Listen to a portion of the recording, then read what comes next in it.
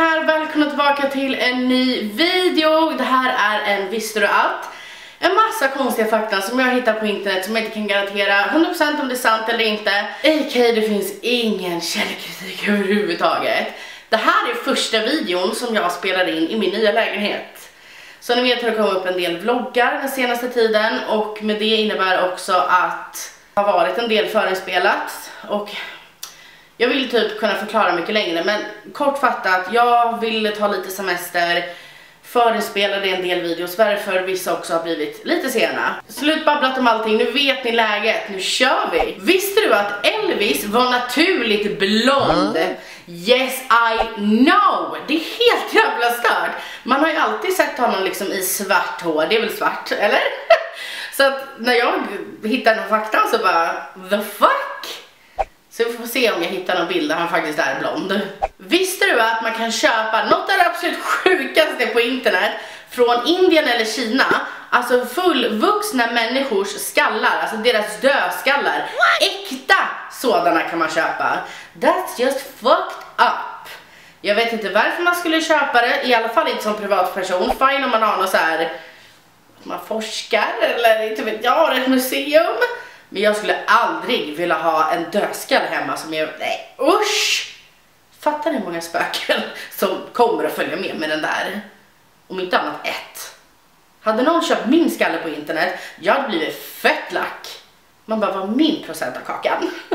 Visste ni att i Japan så berättar man inte för det fängelse, alltså fängelsefångar. Ja, det är fångarna. Det är personer som sitter inne i fängelset för de som är dödsdömda när deras sista dag är. De får alltså inte veta när liksom de ska avlivas eller What? dö helt enkelt. Så att de lever varje dag, det kan vara i en månad, en vecka, flera år utan att veta när deras dagar kommer, när man ska dö. Jag vet inte om det är så här, är det egentligen skönt? Vill man ha det så? Eller går man bara runt och ångest och är så här, är det här den dagen som är sista? Är det här det? Eller är det så till en början och sen kanske efter ett tag att man du vet så här, inte pallar bry sig längre? Men fatta vad jobbigt när man vaknar imorgon och bara, hmm, idag ska det bli en bra dag här i fängelset. Och så bara, ah nej men du ska dö idag. Visste ni att i Norge så är det väldigt många som är döpta just till Odd och Even, eller Even. Just för att det är, alltså det vad ska man säga? På engelska, vilket är ganska komiskt då betyder olika och jämna, alltså odd and even. Jättesjukt, kul, jag vet inte men det första jag tänkte på varför jag var tvungen att ta med det var skam.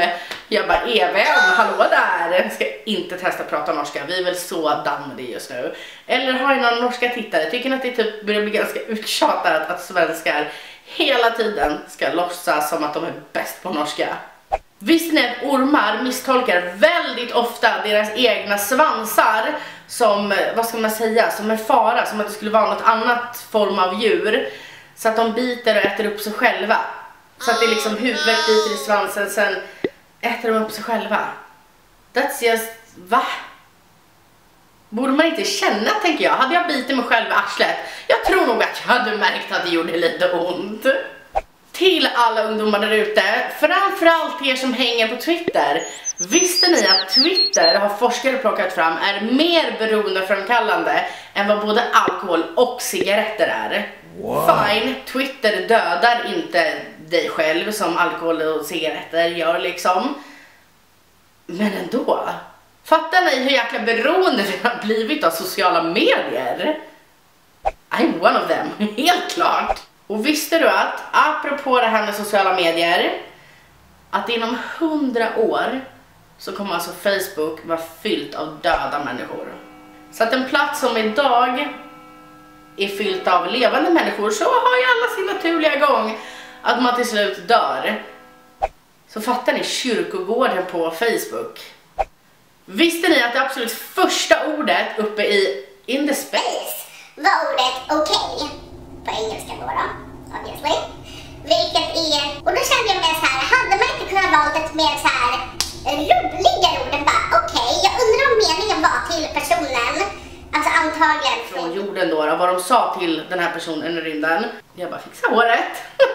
jag undrar verkligen vad, vad de sa till personen som den svarade okej okay på. Vad var det som var okej? Okay? Är du okej? Okay? Och nej, men det kan man inte säga okej till.